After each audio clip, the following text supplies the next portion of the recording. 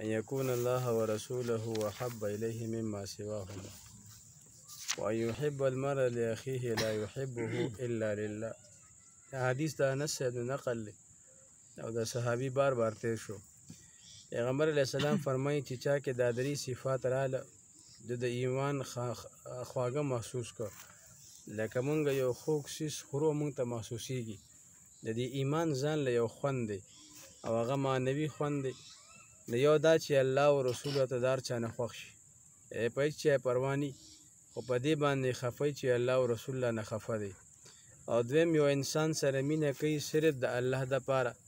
چې هغه په الله مین دي دیندار دی دی ورسره محبت ساتي او دریم دې بده ګڼي چې دې کفر ته واپس شي لکه څنګه چې یو سړی بده ګڼي چې اور ته وغورځول شي